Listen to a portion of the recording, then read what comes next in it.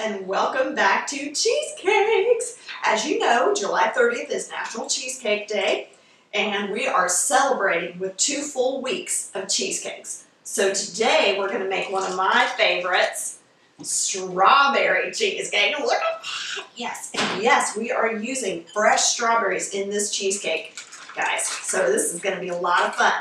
Now, if you have seen, and I hope you have already seen, my video on the New York style cheesecake, that technique is a basic technique for making just a lovely plain run-of-the-mill cheesecake. Very good.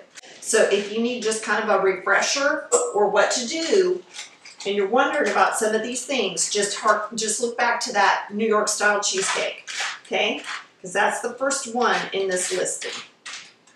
And of course, as always, just check the description box below because the full recipe will be there and the link for the New York style will be there, okay? So, now, we're making a larger cheesecake than last time. So, that's why you saw four 8-ounce blocks of cream cheese going into that bowl. And guys, remember, if you don't have a big mixer, you can do this with a hand mixer and blend it till fluffy. Good and fluffy and creamy. We're just going to scrape down our sides. We're going to go ahead and add the rest of our ingredients for our filling. Okay, we're going to put in our sour cream. Give that a little blend. Now we're going to add our honey, vanilla, and our eggs.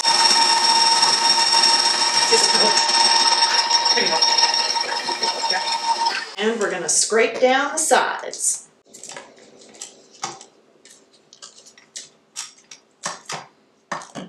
And guys, always make sure when you're scraping down in a big mixer like this, go across the bottom like that. See that? Because you can have stuff hiding down there in the very, very bottom. You want it all to be blended through. Okay, and this is ready to pour into our crust. Okay guys, look at that beautiful fluffy filling right there. And it's mostly lump free. The rest of those are going to cook out.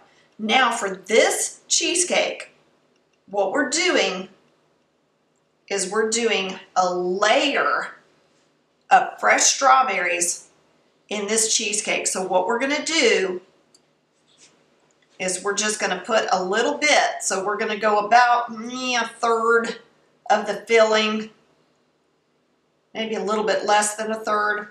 I'm eyeballing that to about a half of an inch of depth, okay? About a half inch depth on that. Now, in goes our beautiful, beautiful, beautiful fresh sliced strawberries.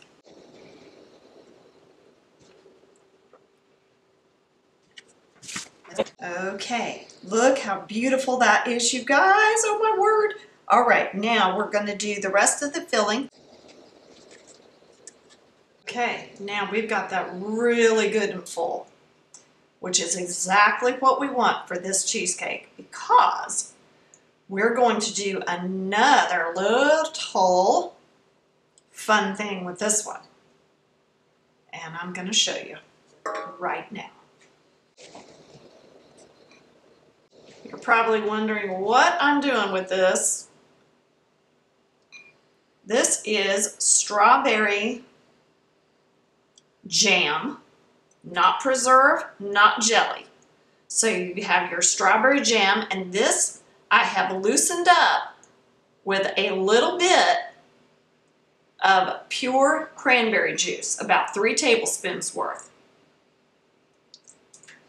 Just to get it to the right consistency that I want because we're going to swirl this into the top portion of our cheesecake batter. All right, so just a straight table knife, just like that, and we're going to come in through there and begin to swirl that strawberry right through there.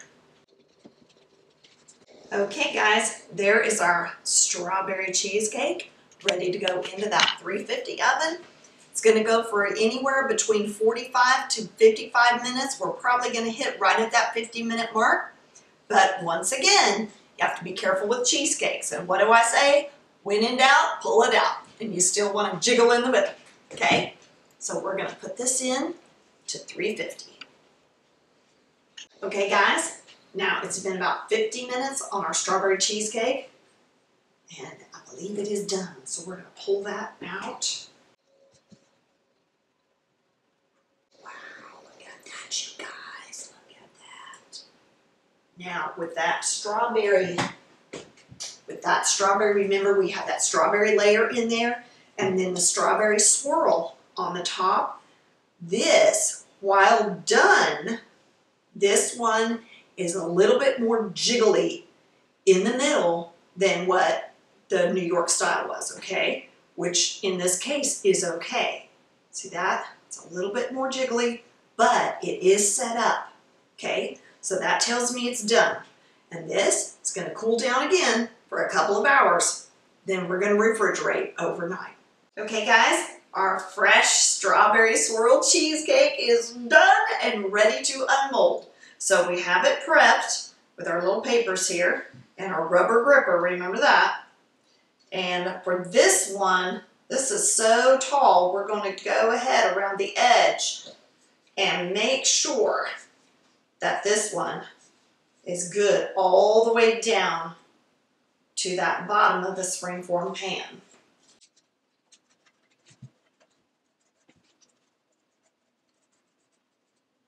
Okay.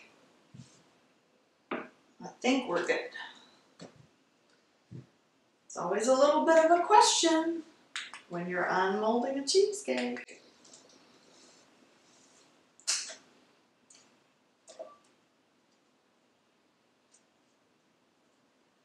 Come on, baby. Come on.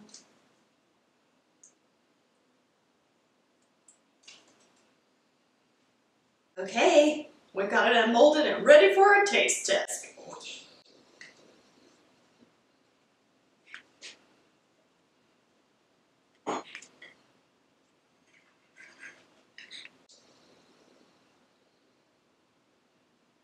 Ooh, baby.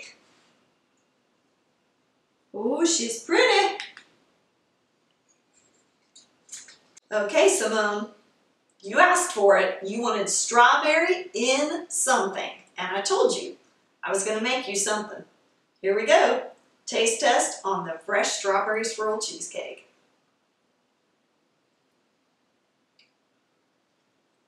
Wow. That fresh strawberry layer, you guys down there, that is primo right there. And this, the strawberry swirl, the way that interacts with the cheesecake, this might be my new favorite, I gotta tell you. This might be my new favorite right here. This is so good. I'm gonna have another bite. Oh my word. Mm. Oh yeah.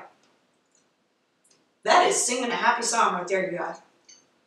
All the way through and tag the chorus. You know what I'm saying? Okay. So you guys try this. Make sure you leave me a comment when you do, because this is outstanding. Oh my word, and if you tweak it, you know I like to know that. And guys, make sure you subscribe so that you can see all the other cheesecakes we're uploading for you to celebrate National Cheesecake Day, like candy bar cheesecake. what? Lime cheesecake. Oh my goodness. Cookies and milk. Ah, and that's just to name a few. So you got to check all those out, okay? And make sure you make sure you see the one on the New York, the original New York style, because that's the tutorial on how to make a quality cheesecake. And if you can do that, you can do any of them. All right? And we'll see you next time on Things Tina Does.